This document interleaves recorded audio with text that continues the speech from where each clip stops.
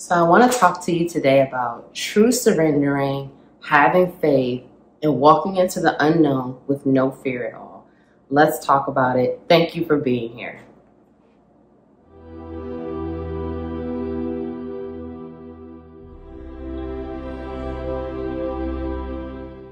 Welcome back to the Divine Healing of Love channel. I am Nicole. Thank you all so much for being here with me today. I hope you're feeling well. I hope you're feeling great. Welcome back to my capital LOVE tribe. I love you all so much. Oh my gosh. I love you all so much. Thank you all for all the love, support, encouragement. I really appreciate all of you. I'm so grateful for all of you. Thank you for being here with me today. So let's get into it. Let's talk about it. You know, of course, I have pick a cards on this channel as well. And and a lot of the pick a cards, the theme has been trust more, surrender more. And so as I do my own personal work, because, you know, I'm a healer, but I have to still do my own personal work as well. And the more of this work that I do, it is healing for me and it does bring more awareness and expansion to my journey as well. But I started to just think like, okay, Nicole, how can you trust more? How can you surrender more? How can you let go more? Because as humans, and I know for me, I've had issues with let with control, with letting go of control and just allowing. I've had a lot of issues with that. It's like, I feel like, you know, I want to control. I want to know. I want to know every part of this. I just, I need to know every little bit. And it's like, when you really trust and you really surrender, you really do let go of all of that. You let go. And it's not easy to do. It's a process that you continue to do over time. You continue to surrender more and more and more it's not just a thing because when I first started surrendering, I thought like, oh, I'm just going to say it a couple times and I'm just going to be, you know, fully surrendered and just going with everything. No, it, at least for me, it didn't work like that. When I started to surrender, I started to, I would have to verbally say it as like an affirmation. I surrender today. I let go. I let go of control. I let go of the need to control. I let go of controlling people or controlling the situation. And I was still controlling. I mean, I started to verbally say it, but I was still doing it. I was still controlling. I was still trying to be in control of the situations. And life events started to show me how me trying to control this is actually pushing the process. I don't want to say pushing it back, but hindering the process, hindering the amount of abundance that I could receive, and again, just how everything would unfold. It was just like, it was definitely having an effect on how everything was unfolding. And it wasn't for my highest good. And I had to realize it's because I'm still in the way and still trying to control this because I want to know everything that's going to happen. And I want to make sure I can control every part of this plan instead of surrendering that to the higher power, whatever you resonate with, to the universe, higher power, most high, God, you know, letting it go and just saying, okay, I trust. Because when you fully trust, that's what that's you saying, I fully trust the higher power. I say God, Spirit, Most High. I fully trust that the Most High will give me what's for my highest good. And I know that without a shadow of a doubt. I know that. And now I can let go and let it really happen. So I want to bring up this example to you. You know, when I was thinking about this video and I was thinking about what example can I use? And I just thought about a blind person. Let me just say this. I don't know if there are any blind people in the capital LOVE tribe or watching this, but listen, I have the utmost respect. Like my respect for blind people is like, it's so they have so much bravery and courage every single day. So when I thought about this, I was like, blind people literally surrender and trust every single day, whether they want to or not. Because you know what? They don't have eyes to see what's ahead of them. They cannot see what's ahead of them. So they're in the unknown every single day. Now, some of you may be saying, oh, Nicole, they have a dog, you know, they get familiar. Okay, but is, is a dog eyes? I mean, yes, the dog has eyes, but listen, it's not like having eyes and seeing what's ahead of you.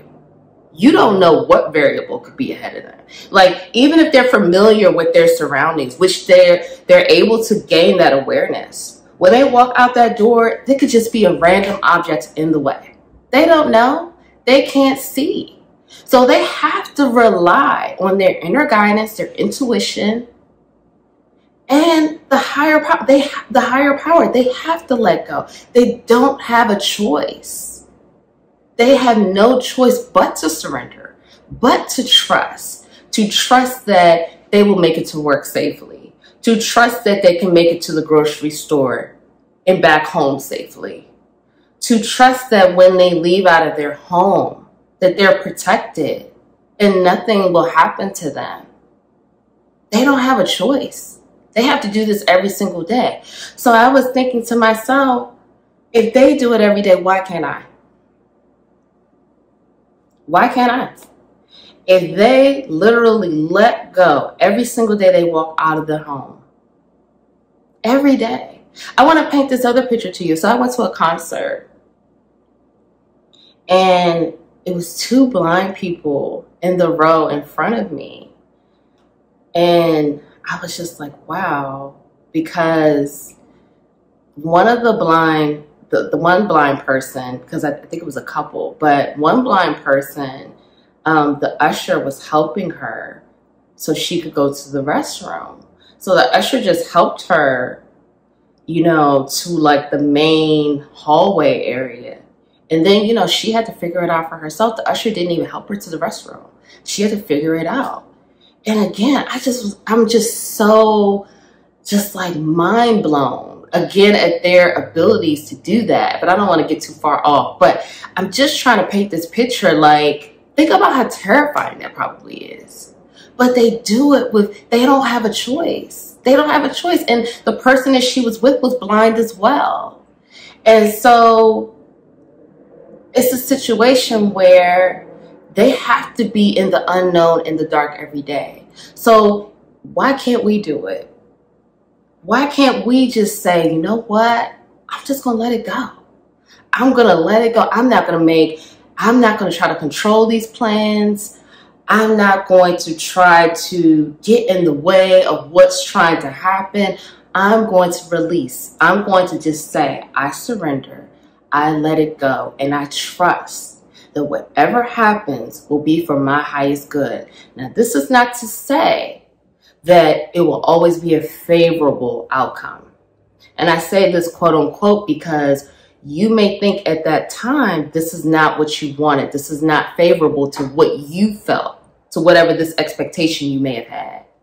And in that way, you have to let that go as well. You have to let go of the expectation. That's about surrendering as well. So when you say whatever happens for my highest good, if let's just say you applied for a job and you did not get the job, you know, they said that they were going with another candidate.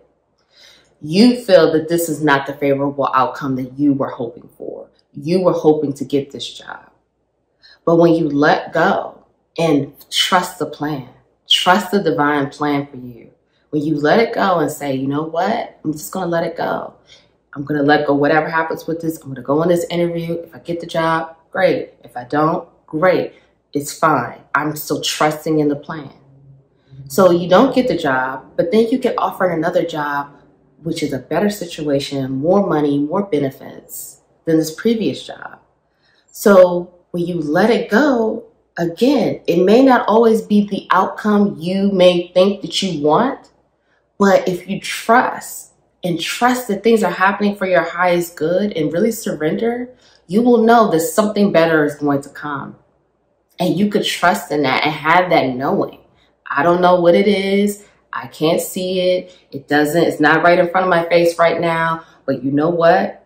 I'm trusting. I'm trusting that everything is happening for my highest good and whatever is meant for me will come to me. We have to let go more. We have to trust more. We have to surrender more. It's really a collective energy right now in humanity. We are being asked to trust more, surrender more, and just let go. Let go of the control. Let go of expectations. Let go of what you think the outcome should be. Let go of, you know, feeling like if it doesn't happen like this, I don't know what I'm going to do.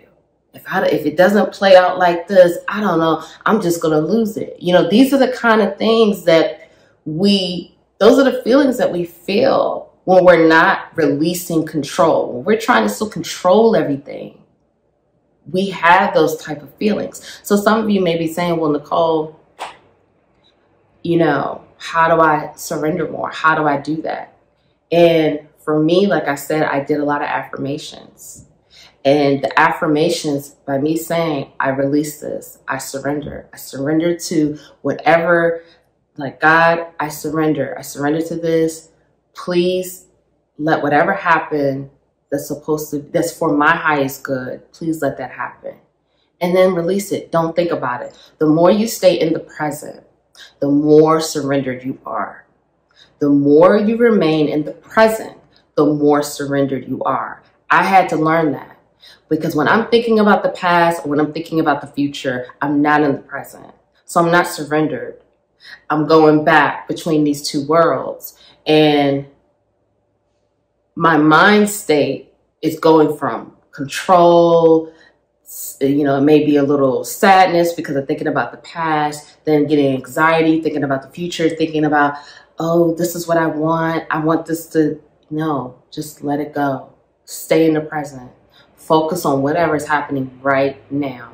The more you stay right here in the present moment, the more surrendered you are, the more you let go, the more you're not expecting, you're not thinking about the future, you're not trying to control whatever or thinking about the past, like, oh, I wish I did this this way, I wish this hadn't happened like this. The more you stay right here, right now, in the now, because this is all that matters. It's just right now. That's all you have the more surrendered you are. The more in the present, the more flow you can have. Okay? The more you are able to just let go, release, and just flow. And then everything comes to you. Everything. Every I had to realize that. I start the more I let go and stayed in the present and just surrender, the more I was already abundant. You know what I mean? Like I was already attracting a lot of abundance because I, I definitely believe in law of attraction. But for me, the next level was staying in the present and letting go, releasing it, releasing control, releasing the expectation, and staying right here, focusing on what's happening right now. And I felt more surrendered, more free, and more in flow. But what I'm supposed to be doing, my path and my journey, and more connected, and more like, you know what? this is all with I'm letting God control because that's what it's supposed to be. That's what I believe in. Now, you may not believe in that, but that's what I believe in. I'm being guided and I'm not even going to stand in the way of this. Who am I to stand in the way? That's been my mantra. Who am I to stand in the way of what God is trying to do for me? Period. That's it.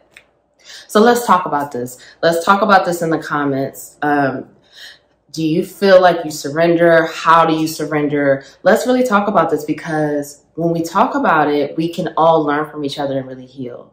So um, comment below. Let me know how this resonated for you. If no one tells you that they love you today, I love you. Thank you so much for being here. I'm proud of you for being here, for doing the work. You know, I really am sending you so much love on your journey. Please like the video. Please subscribe. Join the Capital LOVE tribe. I love you all. I'll see you in the next video. Bye.